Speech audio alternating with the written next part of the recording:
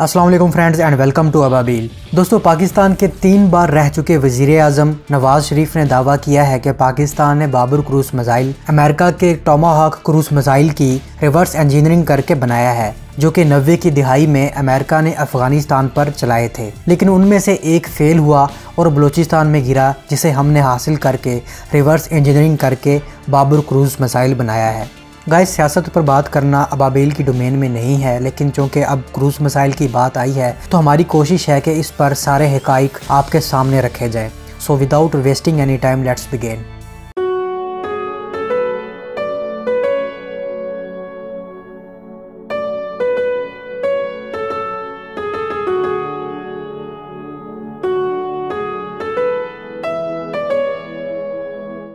al Qaeda ने 7 अगस्त उन्नीस सौ अठानवे को कीनिया और तंजानिया में अमेरिकन एम्बेसीज पर हमले किए, जिसके जवाब में अमेरिका ने अलकायदा के ठिकानों पर हमला करने का प्लान बनाया। इस ऑपरेशन का नाम ऑपरेशन इन्फिनिट रीच था और इस ऑपरेशन के तहत अलकायदा के अफ़गानिस्तान के होस्ट के इलाके में मौजूद ट्रेनिंग कैंप और सूडान में मौजूद अलकायदा की मदद करने वाली अलशिफा फार्मास्यूटिकल फैक्ट्री पर अटैक करना था। अफ़गानिस्तान के कैंप पर हमला करने में सबसे बड़ी रुकावट पाकिस्तान था, क्योंकि अमेरिका के पास ना तो कोई सूटेबल बेस थी और ना ही बॉम्बर्स और हेलीकॉप्टर्स के लिए पाकिस्तानी फ़जाई हदूद इस्तेमाल करने की इजाज़त थी। और ऐसे में अमेरिकन एडमिनिस्ट्रेशन को ऑपरेशन ईगल क्ला रिपीट होने का ख़तरा भी दरपेश था, जो कि ईरान में बुरी तरह फेल हो गया था। ऑपरेशन ईगल क्ला के फेलियर को देखते हुए ये फैसला किया गया कि अरेबियन सी में रहते हुए नेवी शिप्स और सबमरीन से अफ़गानिस्तान पर टोमाहॉक क्रूज़ मिसाइल फायर किए जाएँ। लेकिन इसके लिए भी बहरहाल पाकिस्तानी एयर स्पेस ही इस्तेमाल होना थी और मिसाइल बलूचिस्तान की फ़िज़ा से गुजरने थे। प्लानिंग टेबल पर मौजूद vice chairman joint chief of staff general Joseph ने कहा कि यह मिसाइल पाकिस्तान की जिस एयर स्पेस से गुजरेगा, वहाँ मुमकिन तौर पर पाकिस्तान न्यूक्लियर वेपन साइट है। यूएस ऑफिशियल्स को डर था कि अगर पाकिस्तान को आगाह ना किया गया तो पाकिस्तान इसे भारतीय अटैक समझकर मिसाइल को तबाह कर देगा। और अगर पाकिस्तान को आगाह कर दिया गया कि हम होस्ट कैंप पर अटैक करने वाले हैं तो ये ख़तरा भी मौजूद था कि पाकिस्तान की आईएसआई तालिबान या अलकायदा को पहले ही से अलर्ट कर देगी। सो फैसला किया गया कि हमला करने से 10 मिनट पहले पाकिस्तान को आगाह किया जाएगा और ऐसा ही किया गया। इस मकसद के लिए अरेबियन सी में चार यूएस नेवी शिप्स और यूएसएस कोलंबिया सबमरीन मौजूद थी और इनकी मौजूदगी का पाक नेवी को पता चल गया था। पाक नेवी ने पाकिस्तान गवर्नमेंट को आगाह भी कर दिया था। अमेरिका ने 20 अगस्त उन्नीस सौ अठानवे को 60 से 75 टोमाहॉक क्रूज मिसाइल अफ़गानिस्तान के होस्ट रीजन में दागे, जिनमें host camp Al Badr camp, sport camp, base camp और भी बहुत से ट्रेनिंग कैंप पर यह मिसाइल दागे गए। अमेरिका ने होस्ट के कैंप्स पर हमला इसलिए किया था कि अमेरिका को उसामा बिन लादेन की इन कैंप्स में होने वाली मीटिंग का पता चल गया था। स्टीव कॉल रिपोर्ट्स के मुताबिक अमेरिका के मिज़ाइल दागने के कुछ घंटे पहले ही उसामा अलर्ट हो गए थे और मीटिंग कैंसिल करने के बाद यहाँ से चले गए थे और ज़्यादातर कैंप खाली करवा लिए गए थे। कहा यह जाता है कि मुबैना तौर पर आईएसआई के डायरेक्टर हमीद गुल ने तालिबान को इस मिसाइल स्ट्राइक्स के बारे में एडवांस में बता दिया था। उसामा बिन लादिन का भी कहना था कि उन्हें पाकिस्तान की तरफ़ से पहले ही इन्फॉर्म कर दिया गया था। सिमन रीव का कहना था कि पाकिस्तानी इंटेलिजेंस ने उसामा को आगाह किया था कि अमेरिका उसका फ़ोन ट्रैक कर रहा है। सो उसामा ने फौरी तौर पर फ़ोन ऑफ़ किया और होस्ट से मीटिंग कैंसिल करके चले गए। दोस्तों अमेरिका ने जितने मिसाइल अफ़गानिस्तान पर दागे थे, उनमें से दो ऐसे मिसाइल भी थे जो अपने टारगेट पर हिट नहीं हुए और पहले ही गिर गए थे। इनमें से एक मिसाइल अफ़गानिस्तान में तालिबान के हाथ लगा था। जिसकी खबर सुनते ही चीन ने अपने ऑफिशियल्स होस्ट में भेजे ताकि इस मिसाइल की जाँच पड़ताल कर सकें और इसे तालिबानों से ख़रीद सकें। दूसरा मिसाइल बलूचिस्तान में खारान डेजर्ट में गिरा था, जो कि पाकिस्तान स्ट्रेटजिक फोर्सेस ने अपनी तहवील में ले लिया।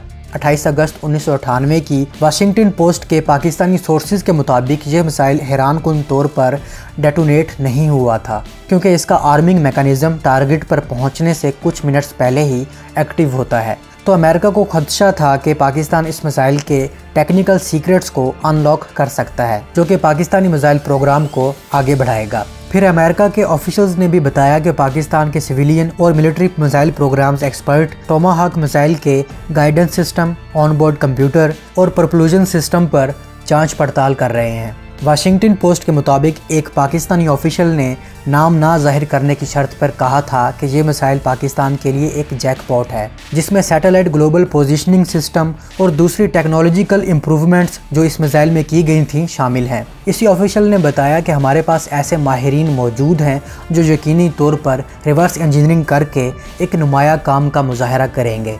लेकिन दूसरी तरफ़ रिटायर्ड लेफ्टिनेंट जनरल थॉमस का कहना था कि ऐसा नहीं हो सकता कि क्रूज मिसाइल गिरा हो और इसका कोई हिस्सा सलामत बचा हो।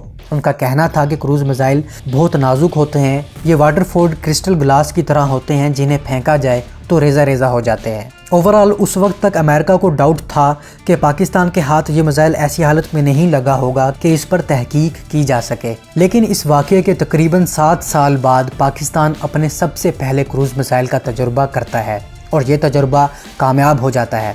यानी इससे पहले पाकिस्तान के पास क्रूज़ मिसाइल नहीं था और इस बाबुर मिसाइल की हैरान कन हद तक खसूसियात टोमाहाक से मिलती हैं, जैसा कि बाबुर का इंजन भी टर्बोफैन है और टोमाहाक का भी। दोनों missile solid fuel rocket booster हैं। दोनों मिज़ल्स में जीपीएस इनर्शियल सिस्टम और टेरकॉम गाइडेंस सिस्टम यूज़ हो रहा है।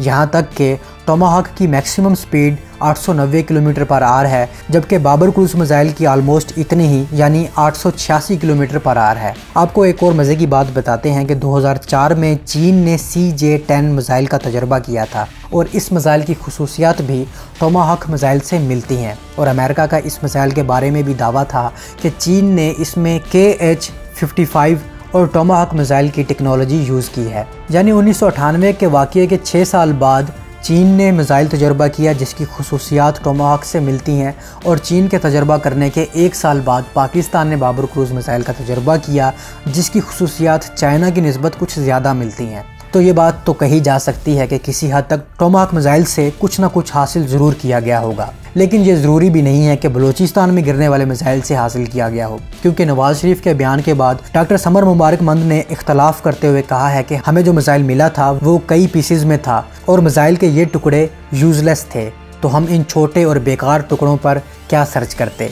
दोस्तों, अगर मिसाइल सही हालत में भी मिलता और डॉक्टर समर मुबारक मंद की जगह कोई और साइंटिस्ट भी होता तो जवाब यही होना चाहिए था जो कि डॉक्टर साहब ने कहा है, क्योंकि ये चीज़ें एतराफ़ करने वाली नहीं होती। हर मुल्क अपने डिफेंस की खातिर किसी भी हद तक जा सकता है। कभी कोई मुल्क किसी दूसरे मुल्क के मिसाइल का डिज़ाइन चुराता है, कभी न्यूक्लियर सीक्रेट्स चुराता है, लेकिन कभी कोई एतराफ़ नहीं करता। सोवियत यूनियन ने अमेरिका के अटोमिक बॉम्ब के सीक्रेट्स चुराए थे। क्या उसने कभी एतराफ़ किया कि हमने चुराए हैं? वो यही कहते रहे कि हमने खुद बनाए हैं। टोमाहक तो फिर भी खुद पाकिस्तान में गिरा था। मैं ज़ाती तौर पर इस बात से एग्री करता हूँ कि पाकिस्तान ने किसी हद तक टोमाहक मिसाइल की टेक्नोलॉजी यूज़ की है और इसमें कुछ बुरा भी नहीं है। लेकिन मेरे और आपके मानने या ना मानने से कोई फ़र्क नहीं पड़ता।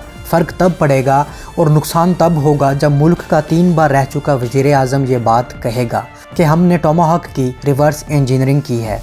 नवाज़ शरीफ साहब को ऐसी बात नहीं करनी चाहिए। सिर्फ़ नवाज़ शरीफ ही नहीं, कुछ जर्नल्स भी ऐसे हैं जो रिटायर्ड होते ही कई ऐसी बातों का एतराफ़ करने लगते हैं जो कि नहीं करनी चाहिए। जैसा कि आईएसआई के सबक चीफ असद दुरानी, जिन्होंने Pakistan military code of conduct की खिलाफ वर्जी करते हुए भारत के रॉ के चीफ ए एस दौलत के साथ मिलकर किताब लिखी और कुछ ऐसी चीज़ों का एतराफ़ किया जो नहीं करना चाहिए था। बहरहाल असद दुरानी पर पाक आर्मी की तरफ़ से अभी कार्रवाई चल रही है और उनके पेंशन और अलाउंस वगैरह बंद कर दिए गए हैं। उम्मीद है नवाज़ शरीफ के इस बयान पर भी उनसे पूछ गुछ की जाएगी। दोस्तों, आप इस बारे में क्या कहते हैं? अपनी राय से ज़रूर आगाह कीजिएगा। बाकी मैं बाबर क्रूज़ मिसाइल पर एक तफसीली वीडियो बना चुका हूँ कि ये काम कैसे करता है और इसकी खसूसियात क्या हैं। आप ज़रूर देखिएगा। अब तक के लिए इतना ही। अपनी दुआओं में याद रखिएगा। मिलता हूँ एक नई वीडियो के साथ। तब तक के लिए इजाज़त। अल्लाह हाफिज़।